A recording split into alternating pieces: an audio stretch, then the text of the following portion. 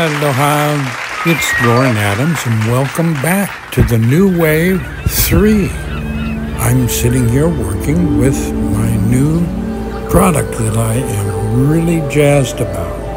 I hope you're going to enjoy watching this part of the progress.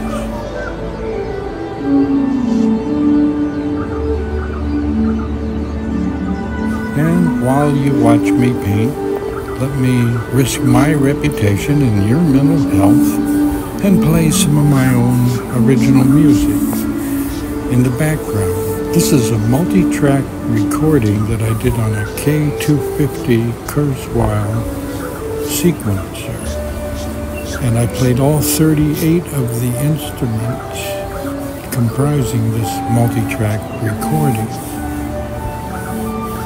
And it was a lot of fun. I hope you enjoy it. The theme of this multi-track recording is a traditional old song that I fantasized about since I was about 15 years old. I played this song on the accordion since I was a kid. And I've made many different recordings of it during, you know, the last 50 years of my life. Anyway, it is Malagueña by Ernesto Lecuona. And this is my own fantasy version, uh, taking the themes from his beautiful melody and just kind of running with it to Never Never Land. And I gotta say, this is probably one of the best recordings I've ever made. I just love it, and a lot of people do. Thank you for listening. And since I'm sharing my personal life with you, I might as well point out that I have so many things to be thankful for. I live a charmed life. I don't know why. I just kind of have always been very sincere about everything I do. And I've had a wonderful life because of it. So while we're listening to Malagueña, I want to tell you about all of the things I'm thankful for. I'm thankful that I was born in a free country. I'm thankful that I was born in Indiana. I'm a Hoosier. I'm thankful that my mother was a beautiful lady that was a little bit crazy. That's why I'm a little crazy, I guess. But when I was little, she took me around and personally told me the names of all of the plants, all of the flowers, all of the insects, all of the birds. And she taught me how to cook and learn how to read for myself. Took me to the library and showed me the card catalog file and how to look up anything I wanted to and to follow through if it was important. I'm thankful that I left Indiana at a young age and moved to Southern California. In Newport Beach area is the first time I saw the ocean. And I just went into this phase. It's as though I realized I had drowned or something, or at least been a, a salty old sea captain in another life or something. I, I didn't know, but I just, you know. At nine years old, I made a picture of me and my friend down by the sea, this splashing on the beach, and I'm loading a whole bunch of stuff on the back of a bird.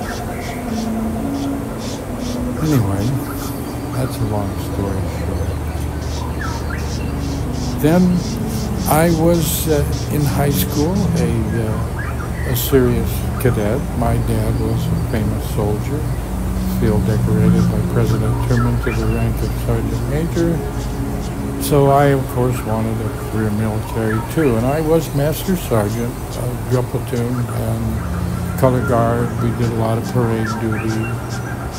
And uh, I graduated from high school, got on the bus, and joined the Air Force. And about 62 hours later, they sent me home, classified 1Y, flat feet, and emotionally not capable of combat, or I was truly a conscientious objector, although nothing but testing revealed that. I was an expert marksman and a master sergeant, so I kind of knew military chain of command and how to take orders and how to follow through, but my feet prevented that. So I went into nursing instead. And then one day, June of 1967, a charge nurse bought one of my paintings, and I went to director nursing and resigned. I also resigned nursing college and theological seminary.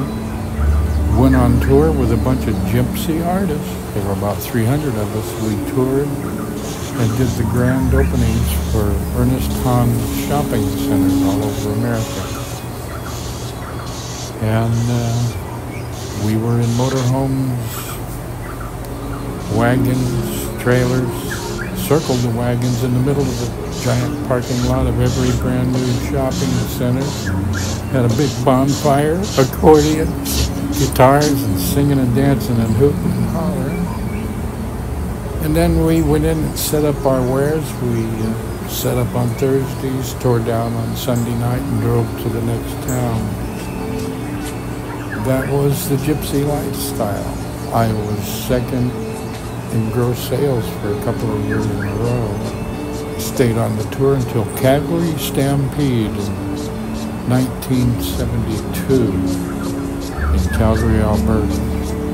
I got off the tour, sold my entire existing collection to a bunch of rich guys, moved into the penthouse of the Port of Trade Tower, and shared an office with the mayor of Vancouver. In a very high league, I guess, surrounded by the creme de la creme. The mayor partied in my studio, the Chicago Blackhawks, the Vancouver Canucks, the Maple Leafs. All the people that I was in business with were in the hockey world. So Stan Mikita and Pit Martin became actually good friends of mine. We went out and partied together. I went out and watched a game one time, and some guy's face came right over in mine and got crushed into the glass it, it was the weirdest thing I'd ever seen.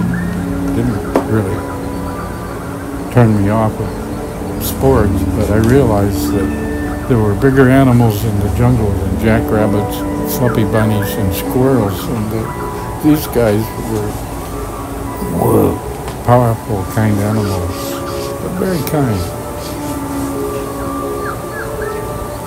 Anyway, those were the days.